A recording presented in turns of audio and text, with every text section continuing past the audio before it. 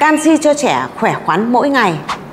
Canxi cho trẻ khỏe khoắn mỗi ngày là canxi gì hả chị Dược sĩ ơi?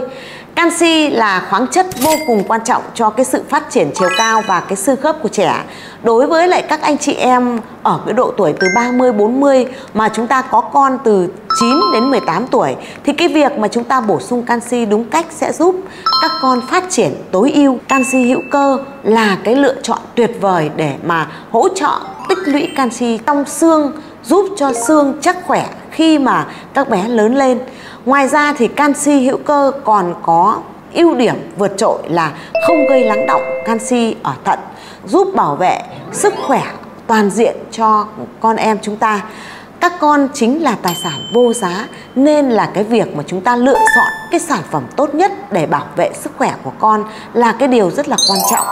Chúng ta không cần chờ đến khi nào mà lớn tuổi mới bổ sung canxi, mà hãy bổ sung ngay khi mà con của chúng ta còn nhỏ. Trên thực tế, có rất nhiều trẻ dù uống nhiều sữa nhưng mà vẫn bị thiếu canxi vì có thể không hấp thụ đủ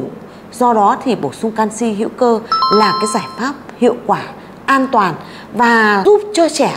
phát triển cái chiều cao và phòng ngừa các cái vấn đề về loãng xương khớp trong tương lai. Bố mẹ hãy quan tâm đến sức khỏe của các con ngay từ hôm nay để đảm bảo rằng là con của chúng ta có được một cái hệ xương khỏe mạnh, chiều cao lý tưởng và tương lai tươi sáng. Nếu như mà anh chị thấy là cái thông tin này hữu ích, đừng quên chia sẻ để nhiều phụ huynh khác cũng biết đến. Thanh Xuân Hava vô cùng cảm ơn anh chị đã luôn luôn ủng hộ và động viên cho Thanh Xuân, giúp Xuân có thêm động lực để tạo ra nhiều cái video giá trị hơn nữa. Sự quan tâm của anh chị cũng là một trong những cái nguồn cảm hứng vô giá đối với lại Thanh Xuân. Xin chào và hẹn gặp lại anh chị ở những cái video tiếp theo của Xuân.